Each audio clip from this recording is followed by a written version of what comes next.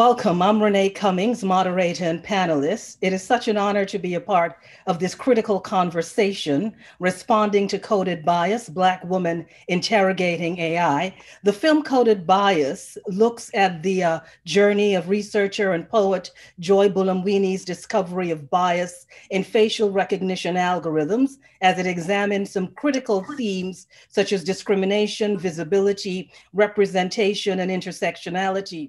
I'm joined by a most esteemed panel, some of the most brilliant and respected voices in AI Dr. Ayanna Howard, innovator, entrepreneur, leader, and international expert in robotics and AI. Ifeoma Ozoma, tech policy expert leading in global public policy partnerships and public policy related to content safety development. And Deborah Raji, a Mozilla fellow focusing her work on addressing challenges in algorithmic auditing practice and policy and evaluating deployed machine learning systems. These revolutionary women will each get an opportunity to say a few more words about themselves. So just let me introduce myself quickly and then we will jump right into it. So I'm Renee Cummings. I work at the intersection of criminal justice and AI interrogating opaque algorithms and algorithmic decision making systems without considering the impact, systems that don't consider the impact it has on due process and duty of care. And that's what brought me to AI ethics and data activism. So before we get into the film, I think it's important for each of you to uh, briefly describe your journey in tech, what brought you into the work, and what keeps you motivated and pushing forward. Uh, Deb, how about we begin with you? Thanks, Renee. That was amazing. And thanks so much for the work that you do.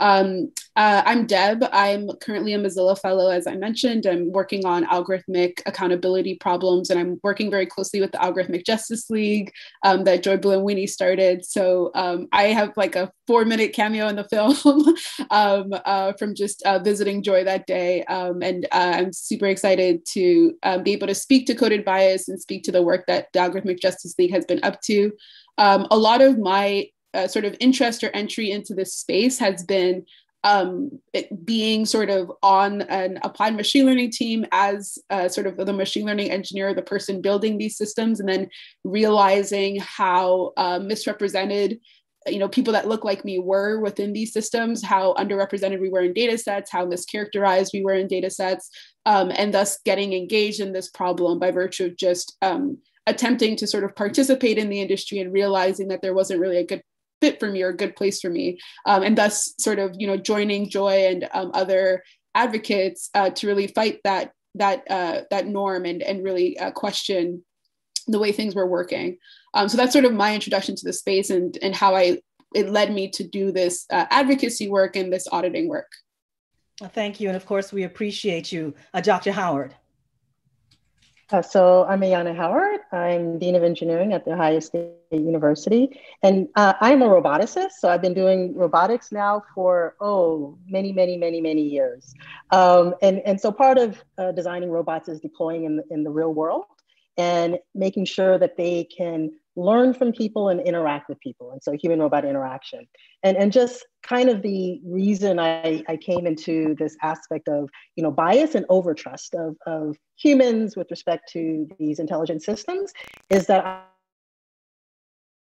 with children with special needs. You think about intersectionality of race, gender, age, and disability uh, that's the space that I work in. Um, and so very early on, I mean, when we started in this literally 16 years ago, um, just looking at how algorithms are designed, even from clinicians in the in the real world, there was aspects of, you know, not ideal, not optimal uh, behavior that was then encoded into the robotic systems. And so just kind of exploring that, um, realized that not only did we have to identify this, but we also had to develop solutions. So it wasn't just about, hey, here are all the problems, but it's also, and then how, as a technologist, can we design solutions so that others can see it as an example that is also their problem to design other types of solutions.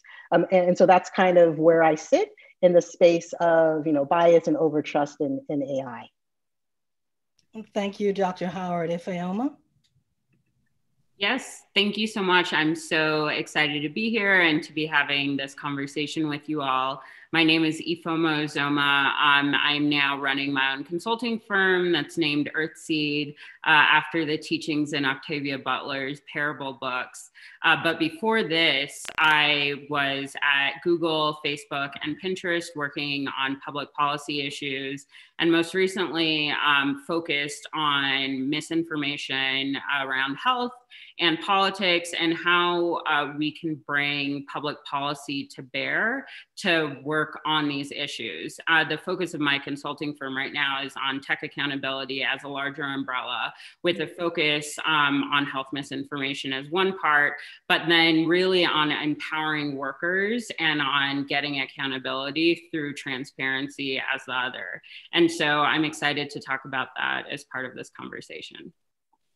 Thank you very much to all of you for the introduction. So let's get into it. So there's this belief that intelligence in AI focuses on logic that reinforces a Western interpretation of knowledge or a Eurocentric interpretation of intelligence. Coded bias discusses the need for emotional intelligence and ethics as central to the discussion in AI. How would you change or even rewrite the current definition of AI to ensure it is fair, and it is inclusive. Deb, how about we start with you because you had that brilliant cameo in the film? yeah, um, I have a great story about that too. I, uh, I might have told it uh, to this this group before, but um, uh, Joy just invited me to come visit, and there were cameras, and I was like, oh, okay, this is you know fun.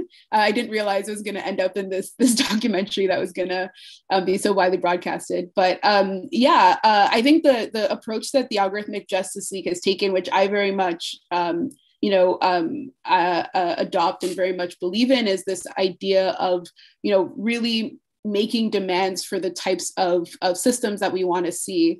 I think um, when I first got into this space, and even um, you know a couple of years ago, it's not been that long that um, you know the machine learning community has begun to actually question the norms through which we develop these systems and through which we sort of establish um, you know the, the the rules for how we develop how we how we sort of engineer the products that end up impacting people i think for a long time people would for example, assume things like the data as you know this fixed entity and not really question decision making around data and how labels came to be and how representation in the data came to be. And I think one of the really big values of gender shades was, um, as uh, Professor Ayanna Howard sort of mentioned, one introducing this concept of intersectionality. So this idea that you know performing well on you know one group or another group doesn't necessarily mean that uh, you're you're performing well on a, a, like you know a particular intersection of these groups in this case uh, darker skinned women and as a result of that there's an entire population that is now at risk because of the deployment potential deployment or disadvantaged by the deployment of this product. Um, and that population can actually begin to sort of advocate for themselves and say well your product doesn't work if it doesn't work for us. Um, and that sort of sense of empowerment really came from one identifying the issue identifying the fact that you know there are products being deployed using machine learning um, which does have this sort of very like narrow scope of performance. Um, there are these products being deployed that don't work for particular groups that don't work for you know it, um, it could be um, you know uh, the gender shade study focuses on darker skinned women but there's uh, been studies since and um, even before you know discussing the limits of some of this technology for those with disabilities or those um, with particular characteristics um, that disadvantage them in terms of how they interact with these systems. So all of these people are sort of now um, empowered through you know different methods that we've developed for auditing and different methods that we've developed for documentation and ways that they have of you know evaluating these systems assessing these systems and you know communicating or talking um, to advocates and uh, regulators about how these systems are working for them. You know, there's all of these avenues that are now available for those that are impacted to actually participate in assessing whether or not this is a system that's useful for them. And if it's not a system that's useful for them, then um, there's like all these mechanisms that we're developing to really empower them to be able to push back against these systems and resist their entry into their communities. And I think that's probably one of the most sort of interesting or exciting ways that we've been approaching this problem and seeing the future of uh, you know of, of, of, the field where uh, you know those that are impacted by these systems participate in uh, you know the way that they're used and the way that they're impacting their lives as much as you know the developer or the the institutions with a lot of the power right now thank you for that. And of course, we know that everything that you and Joy are doing is really redefining in real time the definition of AI. Ifeoma, maybe you could jump in and, and you know, from a, a tech policy perspective, what would that redefinition look like to you? Well, for me, I think it's first helpful to define it in the context that we experience it. And that context, I think, was perfectly said by someone. And I hope someone else knows who this person was. I saw it in passing on Twitter, um, but they described it as automated bias. And mm-hmm. that's what we have right now. The bias can be towards inclusivity, it can be towards one group uh, over another. And right now, unfortunately, we have the latter and not the former. And so, with that understanding, I think we can have automated bias because that's what it will always be as human beings are building it, but in a more inclusive way and in a way that's thoughtful about um, the impact of harms on certain communities. One of the things that I think is important to think about uh, because misinformation has been such a focus of the last year because of COVID it's been a focus, uh, health misinformation specifically has been a focus in many other parts of the world before COVID. Um, mm-hmm. It's just that the folks who were building technology here in the United States were not directly impacted by Ebola misinformation and Zika misinformation. And so it didn't matter to them. If we take that into the AI conversation, we can't have folks who are only thinking about the harms that impact them and the people they work with and the folks who they know creating systems that we all rely on and can't opt out of. And so that if there's any redefinition i think it would be understanding first what it is how it impacts us and then making uh, very deliberate decisions about not continuing what we have now and that i mean the incentive structure is just totally warped in the united states and for the companies that are running things right now so that's where i think policy has a role to play thank you dr howard um, so just kind of building on that, you know, there, there's the famous, you know, Turing test, whatever your opinion about it. And, and so I think about, you know, the Turing test was, you know, how do you define AI? It's like, it doesn't really matter, right? It's about people's perception. And so when I think about where we are with AI now, it really isn't about, again, redefining AI. It's just, you know, how biased is AI now? Because we are learning from people and learning from human. And, and so I think about this all the time because the fact is, is we have civil liberties groups, right? And yet we know some of the same issues, right? We click 50 years, we're like, okay, we're still dealing with it. And so I think as long as we as people are part of the decision-making process, we will always have these biases. And so when I think about redefining this, these aspects and these systems. It's really about having the mechanisms so that we can question, having the policies so that we can have groups that say, look, I think that this system is biased against certain groups because I, I don't think we're going to fix it and we're going to solve it because, you know, we are people, we are human, and I still love people. I want us still to be on earth at some point. And, and so I think it's just we need to provide the ability to question and readjust as we do learn instead of saying this is fixed, it's done, sorry, it's deployed, we can't fix it. And so that's what I really think about it is that it's adaptive and it really isn't a fixed system. It is adaptive system that takes lessons learned and redefines it. It functions as a civil liberty group. We're gonna fix it. Do change. Thank you. I know for me, from a criminal justice perspective, it's about uh, redefining within the context of Blackness and the fact that one of the things that we continue to see with our data is the uh, his, this historical uh, uh, concept of, of Blackness as a deficit, Blackness as a pathology that is now moving into the data sets that we're using in AI. And that re definition for me is more like a reimagining of the ways in which we think about the data that we're using. So, what's missing in the conversation on AI for you? Anyone could jump in at this moment. Um, for me, what was missing for a very long time, um, and this is something that's you know just be I think it's in the, in the last couple sort of um, like academic academic conferences it's become a, a, a, new topic of you know having conversations about the different power structures that are really influencing the equation of you know how we get to specific outcomes. Um, i think uh, Ifeoma sort of like articulated this reality that you know you have a small group of people relative to you know the the, the volume of, of humans affected by these systems um, that are really making decisions based off of their own values and their own priorities and their own principles and um, very little input from those that are impacted but also a lot of power really concentrated in this small group to make these decisions. And um, you know I um, just from my experience sort of uh, on the sort of side of you know being one of these on these engineering teams, I know that a lot of these decisions are kind of made uh, without a lot of reflection. So uh, you know, there's a culture in machine learning where you know you'll have uh, this small team.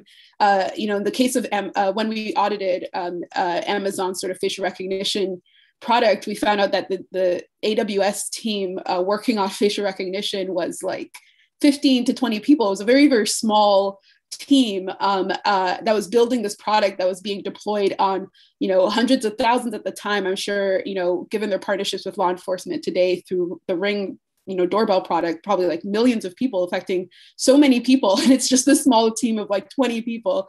And you know you might have someone on the team make a decision about which labels to use or which data set to use um, based off of their understanding of the world and their priorities or they might even decide on which problems to solve based off of their priorities um, and that completely dictates the outcomes for so many other people. So i feel like that power dynamic that exists with these systems that scale so rapidly um, that involve you know data which i think incorporates another dimension of uh, there's definitely another layer of uh, you know power dynamics with respect to you know who's labeling that data um, and and you know how they're paid and how they're treated as well. So there's there's so many um, power dynamics at play that we haven't really began to discuss until quite recently. Um, and I'm, I'm really glad that the community is getting to a point where we're really asking these questions because I think it plays into you know whose harms get prioritized when it comes to policy there was a really interesting um, realization i had where you know uh, with the A level fiasco that happened this summer, where uh, you know a bunch of students because of COVID couldn't take their A level exams, so an algorithm you know assigned them grades and it turned into this whole situation because people were very upset with the you know their algorithmically adjusted grades. Um, it didn't really become a story until you know some middle class uh, white students were affected. And then suddenly people started analyzing the numbers and realizing that the most impacted students were these you know um, uh, lower income students and and those students didn't even have the money to appeal. So no one was even actually paying attention to their situation until you know another population actually rose brought up the issue. So there's this concern that i always have as to you know even the questions that we're asking ourselves around the ways that algorithms discriminate they're based off of stories of particular you know individuals in particular communities that we're prone to listen to. Who are we not listening to? Who is you know, perhaps really dealing with serious issues that are not being paid attention to. And, and that plays into this whole, you know, power dynamic that exists in the world that dictates what we pay attention to and um, what we prioritize when we're trying to solve these problems and build these systems. Thank you. Ifeoma? Um, exactly what Deb said, uh, and what I would add to that is in a society where we have such a focus on freedoms, what has been completely missing for me is any sort of conversation around informed consent. And in the movie, uh, the apartment building example and the use of AI for facial recognition for entering the building, I think was the perfect example of that.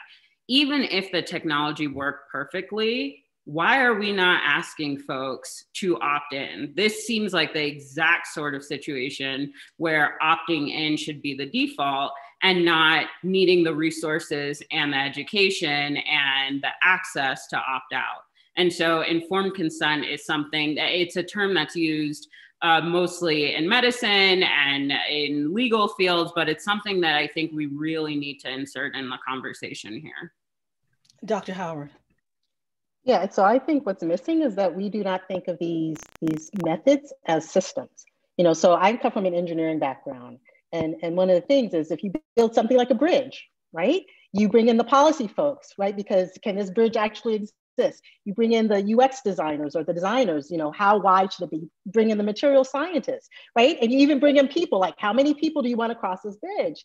And I think when we think about AI, we think of it as a tool and, and we don't really consider the fact that it's not a tool, it's actually the entire system that's being deployed. And, and so I really wish we would bring in and think about AI as a system. And therefore, you don't design a system without having everyone at the table in order to, to really contribute. It's not a, oh, we're done it and we're going to throw it over to the ethics team, or we're done it, we're going to throw it over to the HCI UX designers to figure out how to make it pretty.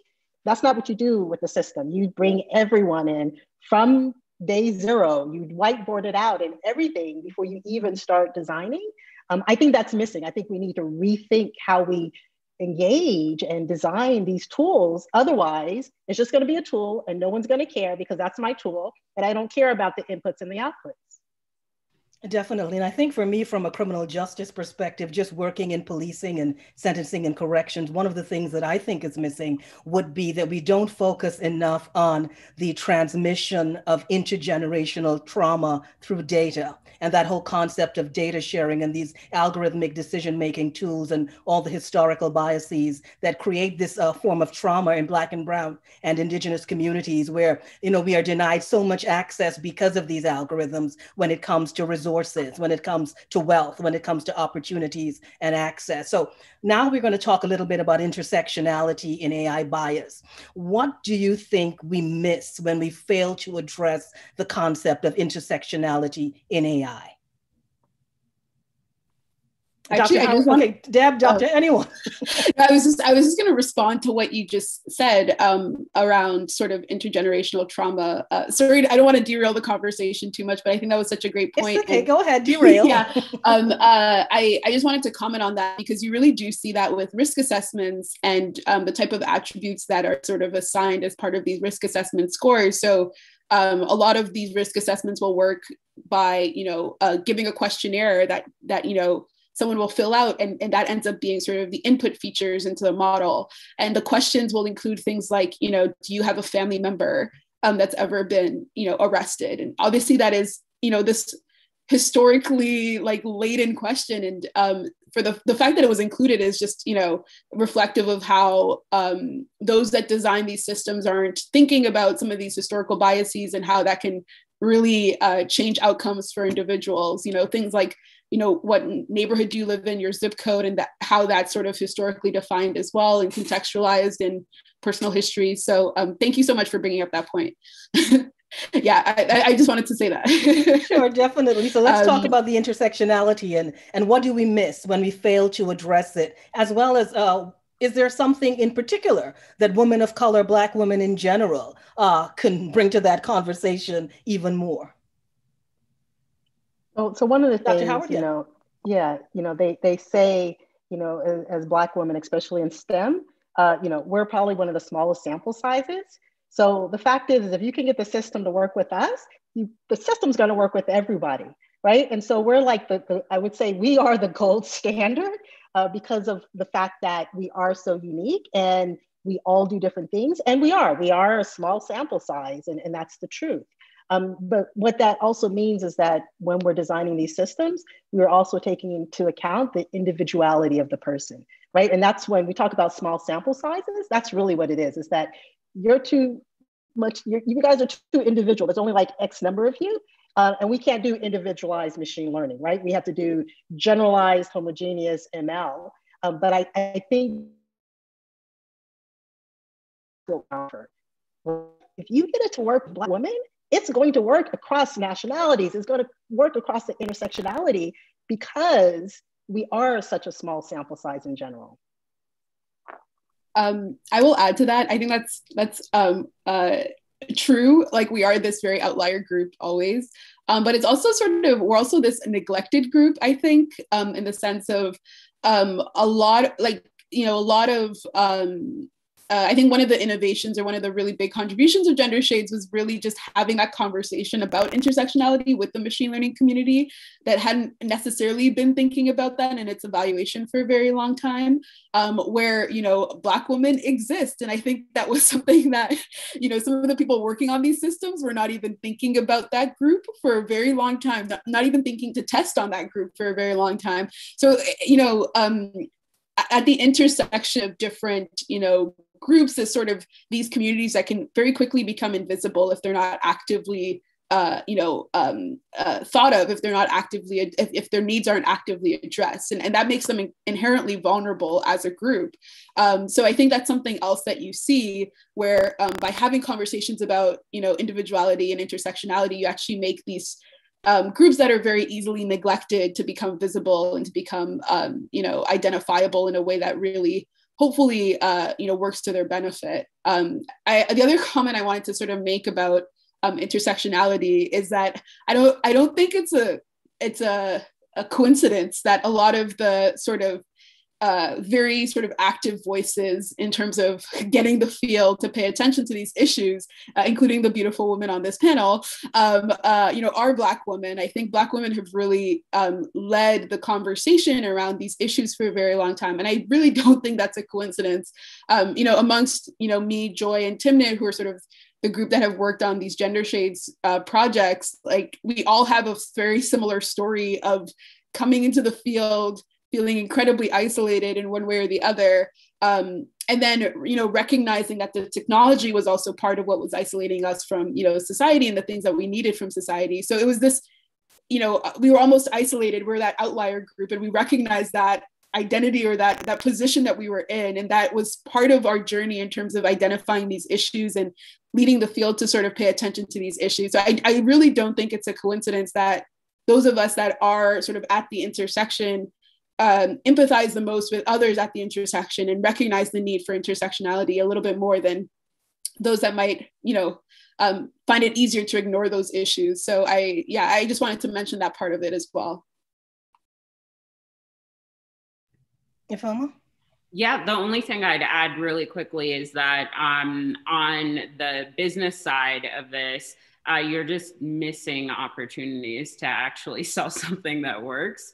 Uh, if you're thinking about AI in the consumer uh, space, when you're not including people with different identities. Uh, if you go to the example at the beginning of the movie and the mask that Joy had to use, how are you selling a product that doesn't work with a large segment of the population if you're the person who created that product? I mean, it's just, it feels like even if you don't care about um, inclusivity, you don't care about diversity, you should at least care about your consumer base. And so that's yet another reason to think about it. And definitely that lack of uh, diversity and inclusion undermining the imagination of the technology. So we're going to talk about some of the biased data sets uh, in uh, the technologies and that you may have come across. Uh, let's just discuss that for a bit.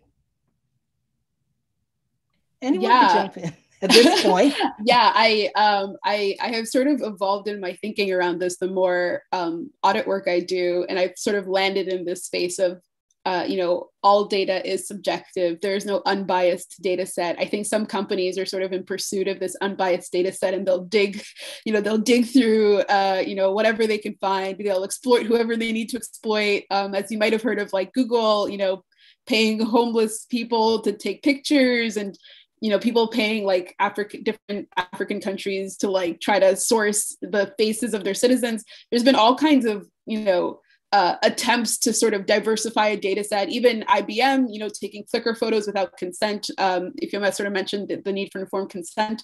So there's all there's been all kinds of attempts to diversify a data set that have sort of been these bad faith attempts that have introduced all sorts of other issues. And we kind of recognize that um, you know there is not going to be that perfect data set that these people are pursuing. Instead what needs to happen is sort of this intentional construction of a data set this sort of intention around how you build a data set and and who you're representing in that data set and how you're representing them and how you're evaluating the model. Um, and that that seems to be an approach that from the beginning sort of uh, emphasizes the need to respect the individuals embedded in that data set and recognize their humanity from the onset. Um, so I think that there's there's an approach to this where instead of you know pursuing the unbiased magical unbiased data set that doesn't exist um, just being very like honest about the biases within the data set you know communicating that documenting that but also understanding okay what that what does that mean with respect to the limits of what my model can do and where I can deploy and where I can't deploy. Um, uh, and how do I communicate that to whoever is impacted by this so they can also make a judgment call as to whether it's appropriate for their situation or not. Um, so that's sort of the approach that we're taking with respect to bias in data sets is like rather than you know pursuing this mythical unbiased data set really being intentional around communication with respect to the bias in the data set and sort of um, uh, emphasizing the need to sort of collect data to a very specific purpose in a very specific population and clarifying those goals and being very honest about those goals from the beginning. And what you end up with is a situation where, you know, uh, if, it's, if it's especially a really big company like, say, a Google, you know, they'll recognize the need for, yeah, we, we don't want to make a product that doesn't work for Black women that's a that's a population we want to you know represent in our data set because that's a segment that we want to cater to.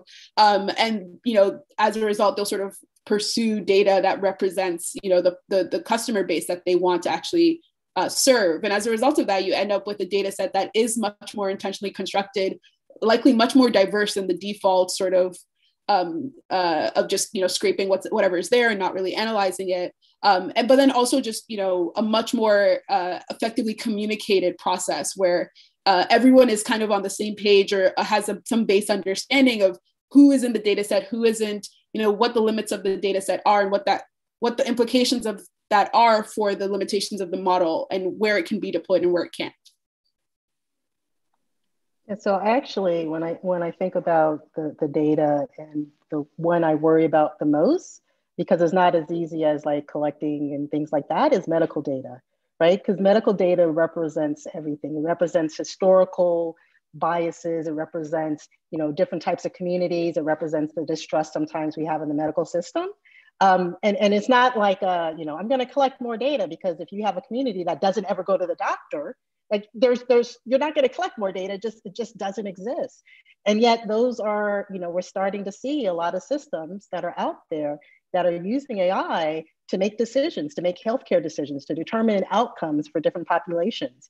Um, and I actually worry a lot about that because it's not just about the data it's it's about the use it's about the fact that there's historical biases we know this i mean you know if, pain they still have it you know if if a if a uh, you know pain medicines you know black women we can take the pain i mean you know they still have this in some of the medical textbooks in, in some places um, and, and so that's what i actually worry about a lot because we are now as you know seeing a lot more ai deployed around health and this is accelerating, especially with COVID.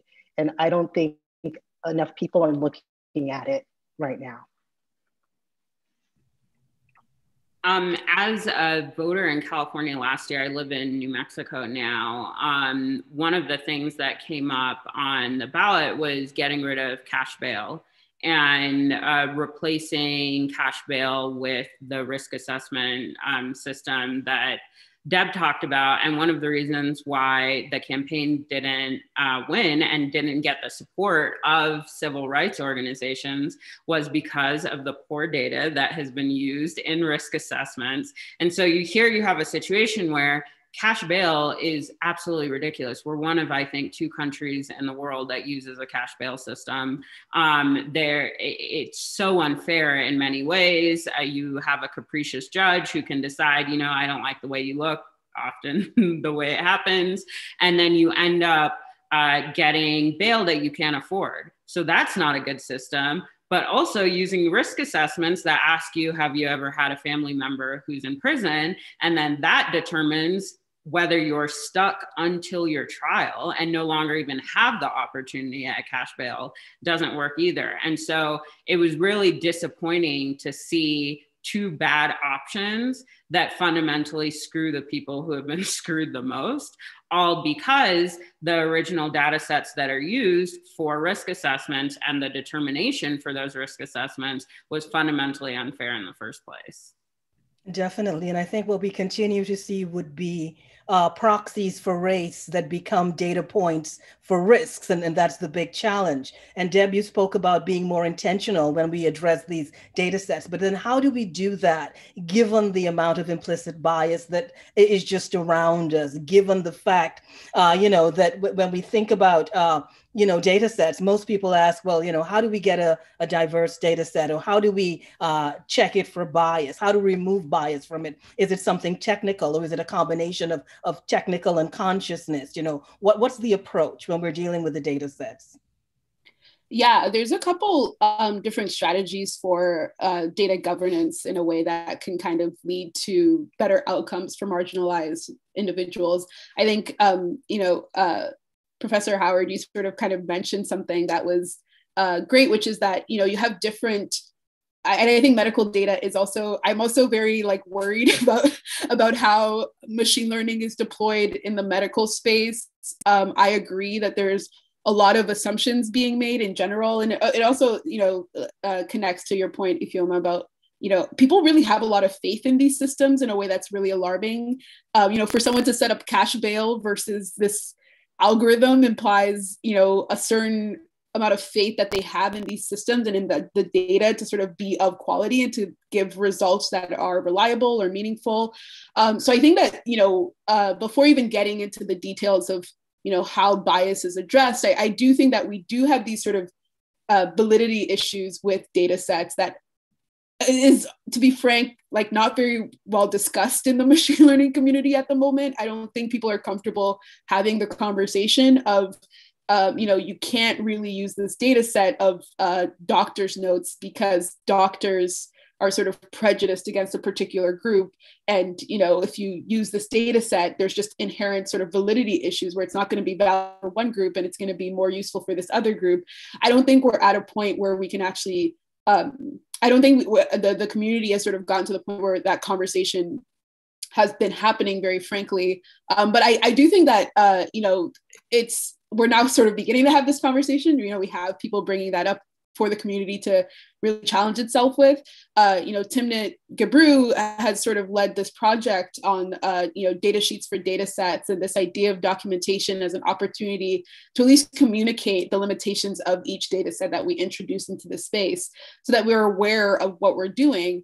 Um, you know, uh, even at a really big company like Google, they had a lot of documentation issues where people would have data sets that were sort of derived from different corners of the company and no one had really you know mapped out what exactly led to this sort of frankenstein monster of a data set that they were using to train this model affecting a billion users. You know there were a lot of issues around communication of you know where does this data come from? Data provenance where you know who sourced the data um, who labeled the data, how was it labeled, what was the guidance for the label, um, the labeling process, all of these uh, details of engineering decisions that went into defining the data set um, were very easily kind of discarded or not well recorded. And as a result of that, people couldn't even have a frank conversation about can we use this data set for this task? Like, is it appropriate to build this model to deal, you know, to predict if this person has COVID, if this is the data that we have for this task.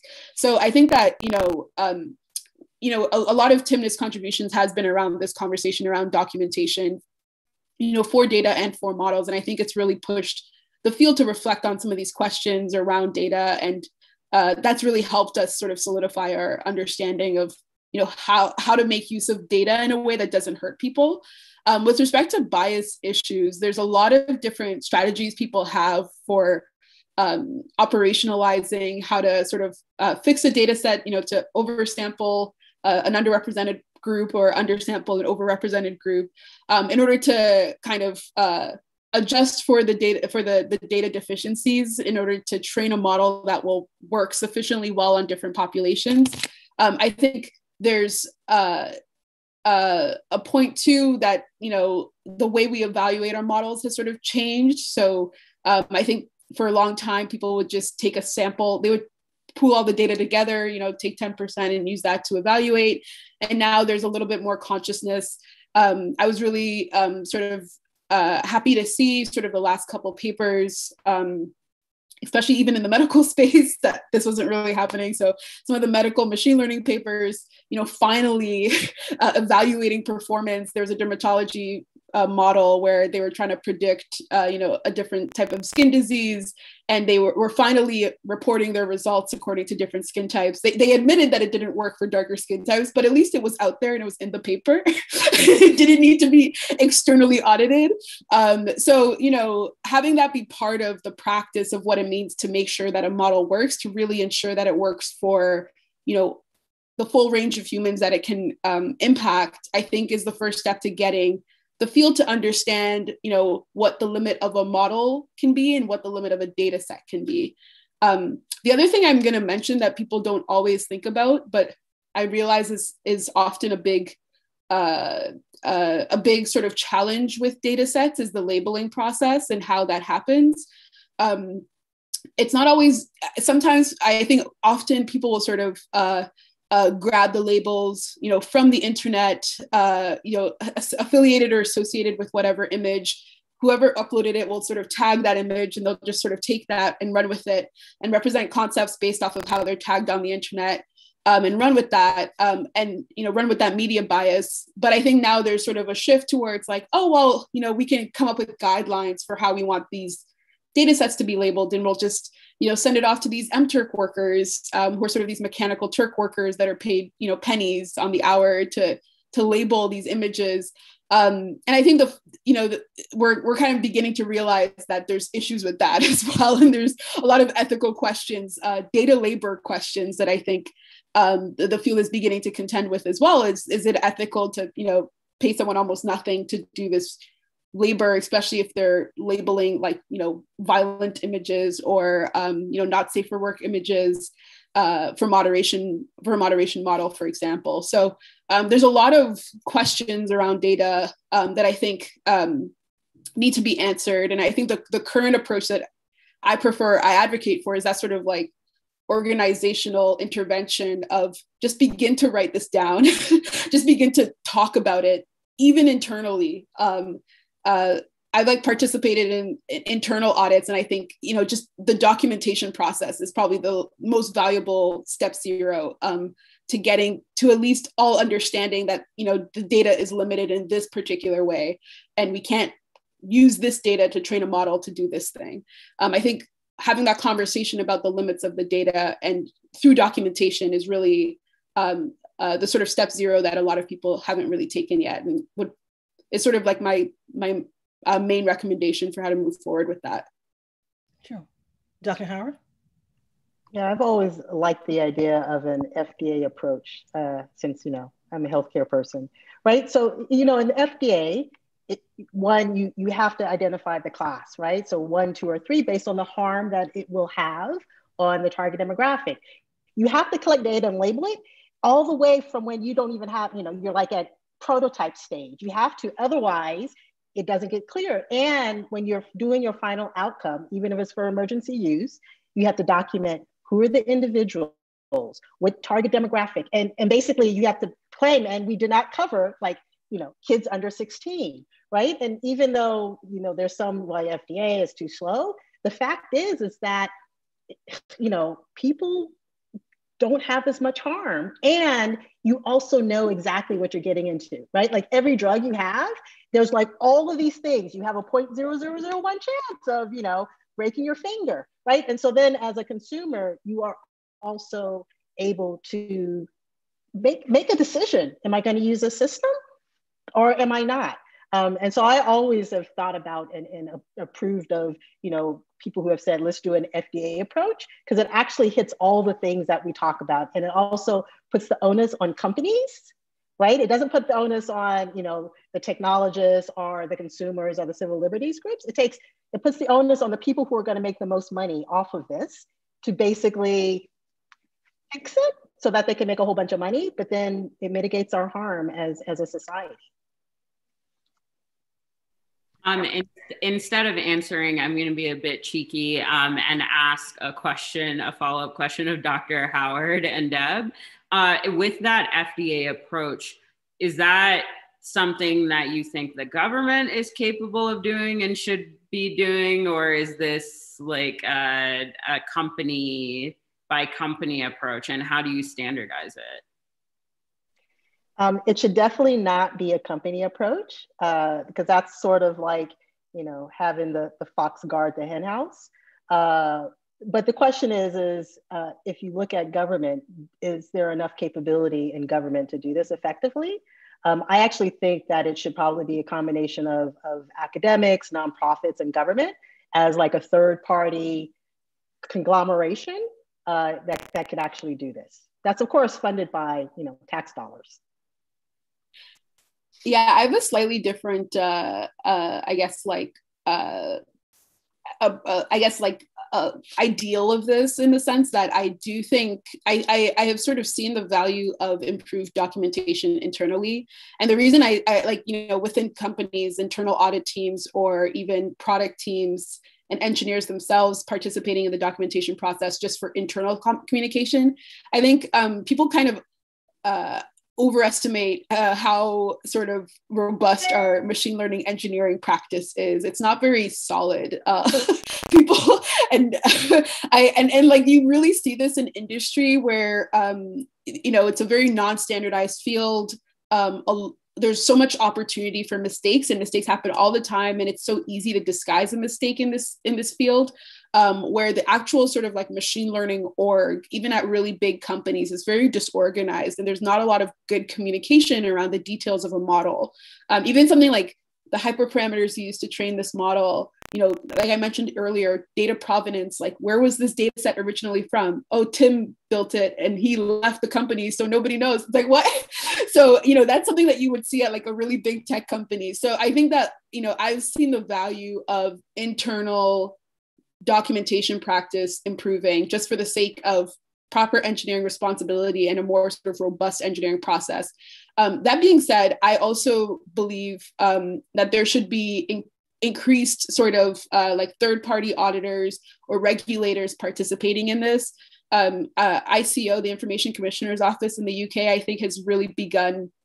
They're, you know, they're the ones that sort of enforce GDPR, so they have sort of more more staff, more uh, government buy-in uh, and funding to do this. But um, they they sort of have an approach where they have individuals uh, that work for the regulator that have access to in these companies. And i think that's something that we should really think about here. Also the fda um, as a model is really interesting because the fda does also have a lot of access in terms of being able to demand that companies produce particular documents follow particular procedures and that's what's regulated is like you have to produce this document and you have to follow this procedure and then submit that to the FDA, um, or you have to allow someone to access your your corporation to audit you. Um, I think that like those models are things that um, uh, could work for for sort of enforcing some of these practices. Um, yeah, so I, I actually sort of believe that you kind of need both.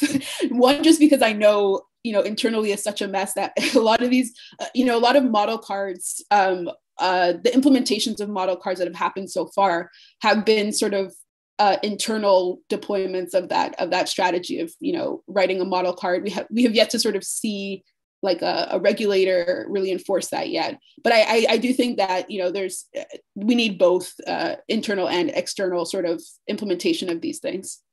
Great. I think we're having uh, so much fun among ourselves that we don't want to stop, right? But let's take some questions. So if you want to send a question, you can do that via the hashtag future is intersectional. I'm going to start with the first question. It's from Chloe and it's Do you think we will see more collaboration between tech companies and social enterprises? And what she's saying is, I feel like they can massively benefit each other. Anyone want to take that? Take that?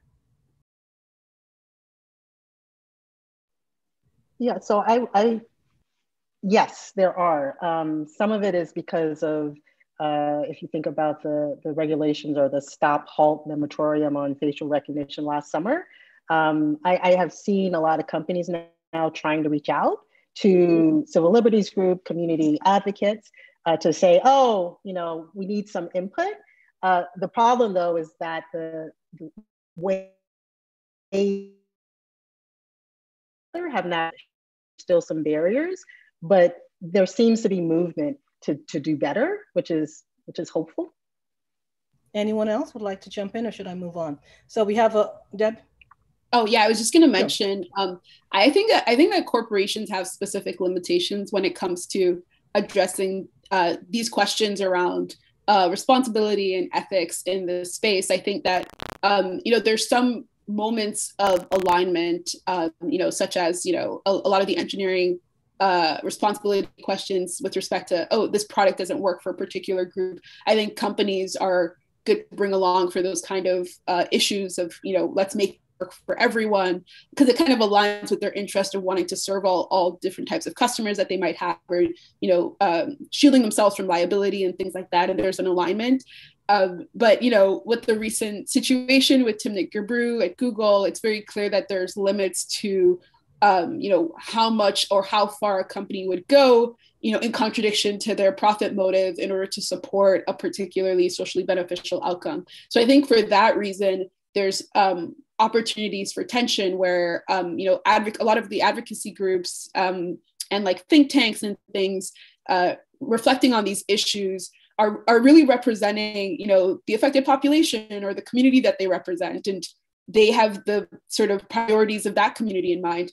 Whereas the, co- the companies have you know the priorities of their sh- shareholders and uh, other another set of priorities. And, and sometimes they align but when they don't align uh, it can be very difficult to collaborate and the the relationship does kind of become this adversarial thing. And i don't think that's a bad thing. I think that's actually productive um, in the sense of you know there are moments where you do need uh, advocacy groups to play the role of like the, an outside force to really challenge these companies on some of their um, priorities and assumptions and values and goals Sure. So this question is from Aaliyah, and she says, How can emerging technology and technologists use tools like AI and skills to support intergenerational healing? Renee, you might want to answer that since you talked about intergenerational earlier. Well, I think one of the things say, that we, we definitely need to answer that. we definitely need to do is recognize it and recognize how something like data sharing or how these algorithmic decision making tools or, or, how these risk assessment tools that overestimate and, and uh, recidivism really impact communities. Because one of the things that we have seen with uh, technology, in particular AI, is that our Black and Brown communities, our marginalized, disenfranchised, and underserved communities are the one who are being impacted the most when we think about mass surveillance technologies, when we think about facial recognition or just something like big data policing. I think what we've got to do is definitely create that healing. And one of the ways that we could use the technology, not only from a emotionally intelligent perspective, but design uh, apps and uh, you know whatever we can design with the technology to, to, to not only raise the question of these issues, but bring people together. I think we've been seeing that more because of COVID 19, all the different forms of uh, therapy that's now being done virtually and healthcare that's being done virtually, but we've got to accept it and understand it and recognize it first. Because I think uh, for me, just working with so many families, uh, just from even from a homicide investigation to just the, the lack of resources to move on and, and to move forward. So it's definitely, I think, an area where we want to see a, a bit more uh, sort of like things being designed and developed, or maybe a robot, Dr. Howard, that could, how about that? That could help us, you know, I think we can do that, treat with something like intergenerational healing. So we have another question here that looks at uh, the FDA framing, and Alexander says he likes that. And he said, I heard something recently uh, mentioned, or someone recently mentioned using uh, material safety data sheets in a similar suggestion. Anyone wants to uh, follow up with that? Yeah, I think he's talking about um, a proposal from IBM for uh, uh, fact sheets, like um, for machine learning models, which is very similar to sort of the material uh, safety data sheets that you might see for um, information about a chemical or um, uh, you know, in, in the sort of more broad science uh, literature and science uh, sort of research context. Um, and I think that proposal was like very well received. I think it's being currently deployed at IBM internally, um, um, but also through the partnership on AI, they're sort of sharing uh, the fact, and I think they, they've also published a paper about it, and they're, they're sort of sharing it as as a as a strategy for communicating about different aspects of the model. I think the interesting thing about fact sheets versus something like data sheets or model card um, is that it goes into sort of like potential consequences a little bit more, and it kind of challenges the engineers. um, that are constructing that tool to reflect on, you know, typically in, you know, the chemical context or chemical engineering context, you'll be thinking of, you know, potential hazards um, uh, and, you know, where you should and shouldn't use a, a, particular chemical or conditions for use, environmental conditions. Um, you know, in this you know data fact sheet um, uh, the the questions sort of still apply and they're kind of transposed into this data space of reflecting on you know what are the consequences of using this data set or some of the the downsides of um, the potential sort of impacts of, of of making use of this data set and what are the best environmental conditions or contexts in which you want to use this data set. So i think those are good questions to ask about data for sure Excellent. Now, I think this is a million dollar question. So, after all that we have said, how do we protect workers and whistleblowers in the workplace, especially Black women and women of color who seem to be the most vulnerable in the workplace in technology companies? Well, one of the things um, that I'm focused on right now is a bill because I think legislation is where we need a lot of work here um, in California to allow people to talk about discrimination and harassment that they faced um, that is currently kept secret. Uh, due to the overbroad use of NDAs, um, both non disclosure and non disparagement agreements. And that gets at the heart of accountability, which comes from transparency if folks aren't able to be transparent about what they're seeing and what they're experiencing in the workplace, we have no ability to even start to address some of the issues because we won't know. Um, there, it, the situation at Google with uh, Dr. Gebru and with um, Margaret Mitchell so interesting because it sort of was the Streisand effect there, which I'm sure Google would have liked the opposite of for them to go quietly, no one to ever know what happened. But even though they had to pay the price, we're now able to address some of the issues that they were trying to raise internally that were being ignored uh, by leadership there. And so I think we just need to hear more stories so that we can have a shot at even addressing some of this. And that's where legislation can come in and make it legally viable for people to tell their stories. Dr. Howard? No, I mean, I, I totally agree. I, I, think some of the, the rules and regulations have to rise because, you know, like the Whistleblower Act, it's about harm, but it's a very well defined harm, whereas we have not yet evolved to AI machine learning being the equivalent in terms of harm. Um, and so I think there has to be a redefinition of what, what does harm mean, especially when you're talking about, you know, language models or facial recognition models or things like that. Um, it has to change. The, the definition has to change. Deb? Yeah, I'm very much for this broader definition of harms to sort of encompass some of these labor issues that arise um, as part of the process of uh, you know being in these organizations that build these things that you you sometimes need to disclose to the world for the benefit of the world about um, uh, I, I, definitely agree with that i think uh, to just add to um, up uh, the, the last point that was made um, i think that there was there's there's definitely there was a point where people were very focused on you know very specific issues that were very well regulated, like fairness, like privacy, like security, um, and didn't really imagine other harms that could exist. I think as the field is diversifying and people are coming in with their own experiences and understandings of what harm can look like, um, then we're having these conversations, important conversations about labor and how the field treats its workers and workers that need to speak up and workers that need to be protected in certain ways. Um, uh, like I mentioned, some of the data labor uh, challenges, some of the gig worker uh, issues, you know, those are um, a, a, dimension of challenges that I, I think are, are rising from people coming into the field with their own experiences and their own understanding of how that connects to you know the kind of future we want. We, we don't want a situation where you know our model is fair and the workers at an organization building this fair model are you know being oppressed and being silenced in certain ways. I don't think that's part of the vision of what we mean by you know an anti-racist system or an anti-racist machine learning um, community. So yeah, I really appreciate the work that's gone into you know making sure ensuring that our institutions are also living up to you know their principles of you know anti-discrimination uh, in the way that they treat their workers. And I think this is going to be our final question. I think we've come to the end now. Uh, what I'm going to ask you just in a few seconds to complete the sentence intelligence without ethics is, Deb, quickly. Um, intelligence without ethics is invalid. Dr. Howard? Uh, intelligence without ethics does not exist. um, and intelligence without ethics is harmful. Mm.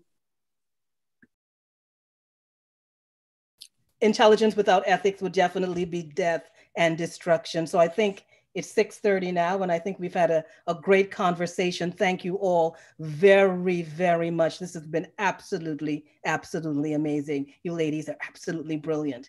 Thank you. Thank you so much for hosting. Thank, Thank you. you. Yeah.